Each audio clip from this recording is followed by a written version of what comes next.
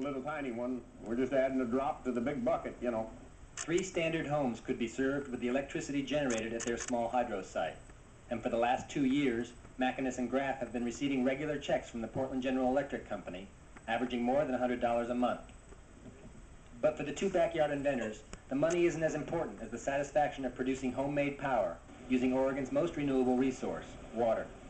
These little streams are all carrying off that 10 foot of rain that we have every year. And that rain has got to go from up here in the mountains at a thousand or two or three of elevation and it's got to get down to sea level. And it makes a lot of sense to harvest that energy in little bite-sized pieces all over the region instead of damming up a major river after all these little tributaries are run together. By demonstrating that electricity can be economically produced on a small scale without damaging the environment, Roger Macinus and Cliff Graff are not only contributing to the region's energy supply, but also generating a model for similar hydro development throughout the Northwest. Steve Christensen reporting for Eyewitness News.